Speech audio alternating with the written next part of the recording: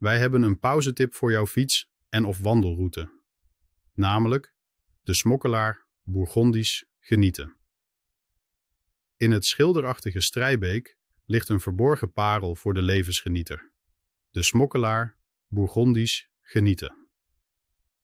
Hier word je verwelkomd met open armen en kun je in warme gezelligheid uitrusten met een koffie of een Bourgondische maaltijd.